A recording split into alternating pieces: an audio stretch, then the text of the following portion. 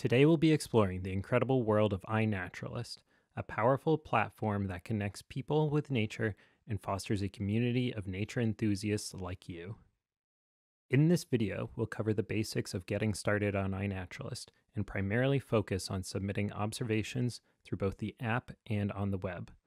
We'll also look at how you can connect with a community of iNaturalist users and have your observations contribute to ongoing or future projects. This pine elfin you've been watching is a good place to start.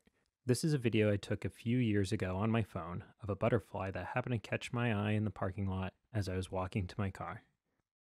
We probably all have photos like this on our phones right now, and that is actually a valuable piece of information that can fill in gaps in the known distribution or timing of plants, animals, or fungus all around the world. Our goal is to get that information into the iNaturalist database. The key components of each record are knowing what species is being reported, when it was encountered, and where. Let's skip ahead for one second and look at this eastern pine elfin record on iNaturalist.org. By clicking on the species name, we're brought to the overview page for this species, and we can see what all of our observations are contributing to. There are nearly 3,000 records contributed, showing us things like the phenology or seasonal distribution of those records. And I especially want to point out the geographic distribution by looking at the map.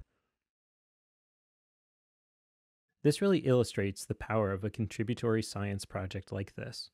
Thanks to people like you and me, researchers can access real time data on the distribution of any living thing, and in much larger quantities than they'd ever be able to do by themselves. While I won't focus on it in this video, you should know that there are lots of tools that you can get out of iNaturalist, like it keeping track of all the things that you've seen and organizing the photos that you've contributed. Let's focus on getting started.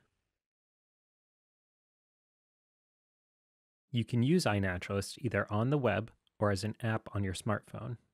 We'll start by looking at downloading the app.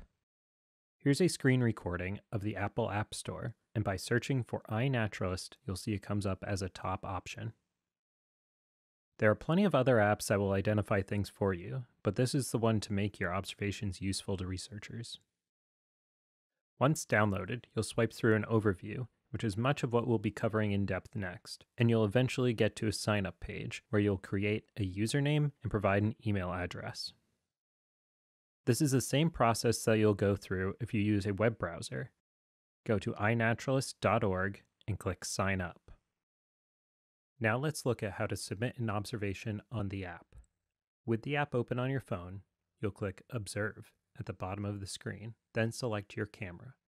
Let's switch over to that perspective for easier viewing. Find your subject and snap a shot. When you tap Use Photo, it'll open to the share screen where your phone will automatically add the date and time, as well as the location thanks to the phone's connection with GPS satellites. This is worth noting that it is pulling information from your phone's GPS, not through cell towers, so it should work even if you don't have service. Next, we'll tap on the What Did You See area, which will use a photo recognition software to suggest an identification. Here it suggests a couple of species of meadowhawks, but we can also submit it just a member of the genus Sympetrum. I recommend always being conservative and using a higher taxonomic classification if you are unsure of the ID. Tap on Share at the bottom and your observation will be uploaded. I want to take a quick pause to acknowledge anyone feeling hesitant to use this. I often hear from new users that they are nervous they'll do something wrong or break something, and let me just give you the encouragement that everything will be fine iNaturalist just crossed the 150 million observations mark, and your contributions will only make this grow. Even just here in Maine, over 28,000 people have shared over 640,000 observations. Let's do one more quick one. We'll tap on Observe and select the camera. Find and photograph your subject. Once the suggestions have loaded, we can compare a couple of these. I know this is some type of dock growing in my yard, and I can tap on broadleaf dock to see more information on it, including seeing more photos. I want to see what the basal leaves look like so I can compare it to curly dock, a species that I've seen before. It definitely looked like broadleafed, so I'll select that, and I can even tap the plus button in the top left and add another photo. This is kind of extra credit, but it will make for a better record if it includes diagnostic photos. Speaking of using good photos, here's a quick example of how iNaturalist is only as good as the information you give it. The first example is a plant with pretty distinctive leaves. You may even recognize it before it pops up. It is jewelweed, or you may know it as spotted touch-me-not. The next example is less distinct, and while it does suggest daylily, also note that daylily leaf miner is at the top of the list, so the software can't quite tell if we're talking about the plant or a possible insect inside the plant. And this last one, just a shot of some bark, iNaturalist misidentifies the sugar maple as some oak, even suggesting species of moths that are often photographed against bark, or yellow-bellied sapsucker because people upload photos of their sap wells that are drilled into that bark. It's always good to be critical of the suggestions that it gives you and think about what else you can include to get a proper identification. This is where the iNaturalist community comes into play. After you've submitted observations, others will have an opportunity to contribute to them as well. Here's what that looks like. When I go to iNaturalist.org, I'll get a notification if anyone has interacted with my observations. Here was a margin tiger beetle record that I submitted that now has had two other people agree with the identification. When the community has reached consensus on an observation, it gets tagged as research grade, which is a higher data quality indicator for researchers using these data.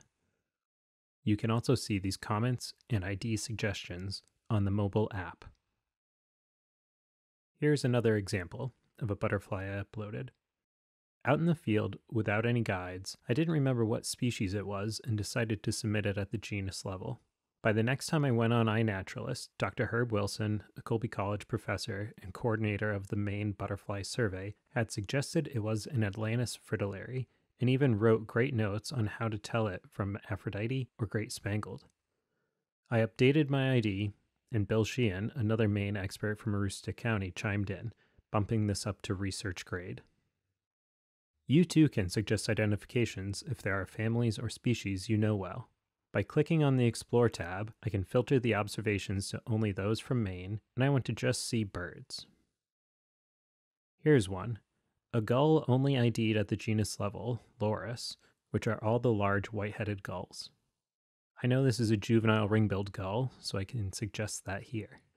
Notice that changes the ID, but not enough people have agreed on the ID to make it research grade yet. The next one I see here is a mallard, and yep, that is a photo of a female mallard, so I can click agree, and you'll see that with community consensus, it is bumped up to research grade. I'll just go down to this bird, ID'd as a great cormorant. This is a tricky ID, and if we zoom in, it does look more like a double-crested cormorant to me.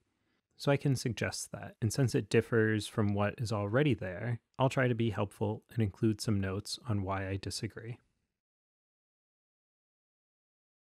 Now notice that bumped this down from species level to a family level and will require more consensus on an ID to get it back up. There are many more features under the Community tab, including seeing top observers and top identifiers for each month, and various projects set up on iNaturalist, which is a nice segue to talking about how your observations are contributing to science and conservation. I'll share the story of the first time I had a researcher contact me about my sightings. This was a ribbon snake I photographed years ago at my parents' house, and shortly after submitting it, I was contacted by one of the coordinators of the Maine Amphibian and Reptile Atlas project. They sent a quick description of how I could have that contributing to their project on iNaturalist. Fast forward a couple years, and I heard from them again after finding another ribbon snake in the next town over. And now they pointed out how those observations were being used on the Maine Inland Fisheries and Wildlife page and will be used in the maps for the forthcoming third edition of the Reptiles and Amphibians book. I do want to emphasize that all observations of any species, even very common ones, are just as important to these projects.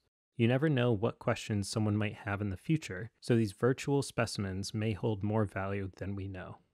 We can see an overview of the Maine amphibian and reptile atlas project on iNaturalist. It is pretty amazing that there are nearly 20,000 records submitted just to this project. At Maine Audubon, we have set up projects at most of our sanctuaries, mostly focusing on documenting the biodiversity at each site. Here is a map of all the observations around our nature center at the Scarborough Marsh. We hold yearly BioBlitz, bringing in experts and targeting volunteer efforts to take snapshots of the wildlife in the marsh. Before wrapping up, it is important to acknowledge the need to put the welfare of any plants or animals first. iNaturalist does have safeguards to help protect species that are threatened or endangered. With this New England Cottontail record, if I switched out of my own account, you can see how the date and location are obscured from public view, since this is an endangered species. One more example is with these ram's head lady slippers. These are rare and the data are obscured in Maine, but a more common species, like these yellow lady slippers, will show all their data. However, you, as the observer, do have the option to change the geo privacy and obscure that information if you'd like. In closing, there are lots of great tools on the iNaturalist website to answer your questions and help you get started. Click on the More tab and you'll find a help section and more video tutorials. I hope this helps, and I look forward to seeing your observations on iNaturalist.